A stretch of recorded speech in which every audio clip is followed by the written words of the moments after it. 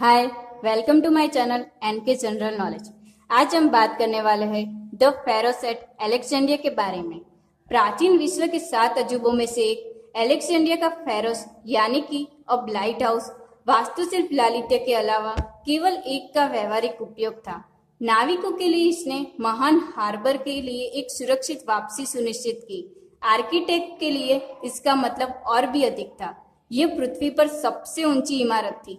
Faso की कहानी 332 ईर्षा पूर्व में मैसेडोनियन विजेता सिकंदर महान द्वारा एलेक्जेंड्रिया शहर की स्थापना के साथ शुरू होती है।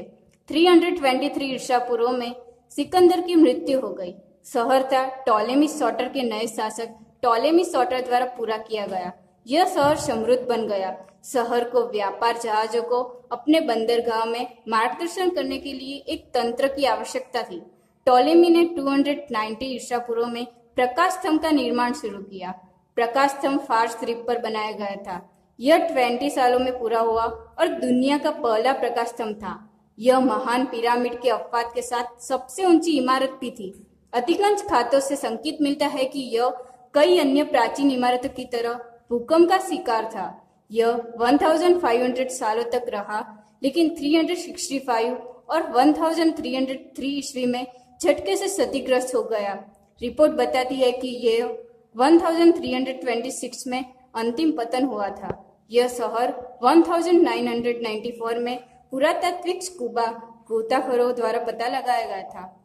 मकदूनियाई विजेता अलेक्जेंडर द ग्रेट के नाम पर सत्रह शहर थे। उनमें से अधिकांश गायब हो गए। लेकिन मिस्र में अलेक्जेंडिया सदियों तक पनपा और आज भी जारी है। प्रकाश स्तंभ हार्स द्वीप पर बनाया गया था। फ्रांस, फ्रेंच इतालवी स्पेनिश और रोमानियाई भाषाओं में लाइट ऑफ़ शब्द बन गया। आपको हमारी वीडियो पसंद आई हो तो लाइक शेयर और सब्सक्राइब ज़रूर करें।